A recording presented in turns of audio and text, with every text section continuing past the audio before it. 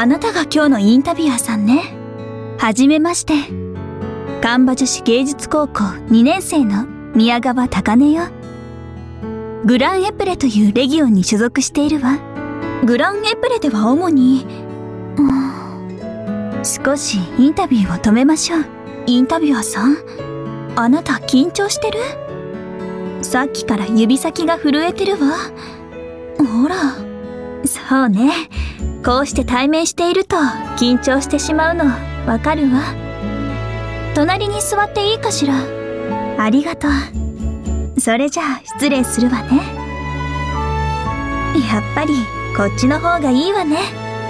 この距離の方がずっと話しやすいわ。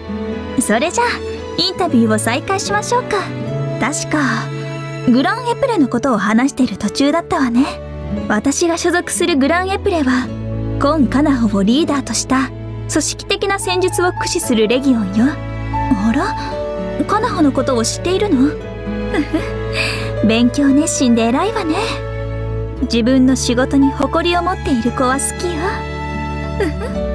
私とカナホはお台場女学校出身で高等部からこの神場女子芸術高校に移ってきたの私とカナホの関係？本当に知りたがりなのねあなた職務熱心なのか、それとも、個人的に気になるとか？そうね。カナホは私にとってなくてはならない存在。そして、きっとカナホにとっての私も同じ。どういう意味かって？さあ、どうかしら？あなたはどう思う？